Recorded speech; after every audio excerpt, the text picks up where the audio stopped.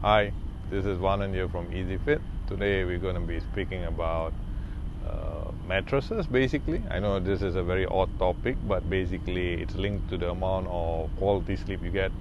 Now, why am I speaking about this? Is partly because a good mattress basically makes a difference when you get up the next day. So, let's put it this way you're spending about five to eight hours each night sleeping and next day how you feel and stuff is dictated by the amount of sleep you get deep sleep and stuff.